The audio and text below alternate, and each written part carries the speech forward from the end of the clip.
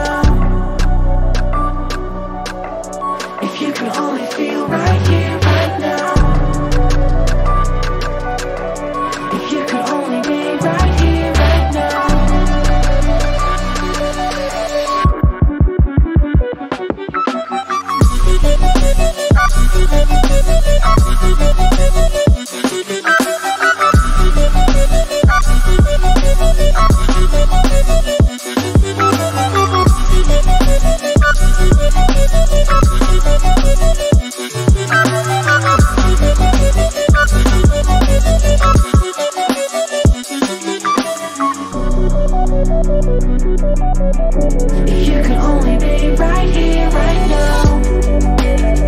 now.